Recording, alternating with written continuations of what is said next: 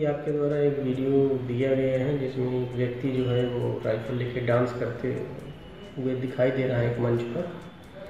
तो संबंधित थाना अध्यक्ष को जहाँ का वीडियो बताया जा रहा है, उनको निर्देशित किया गया है कि वीडियो का सत्यापन कर लें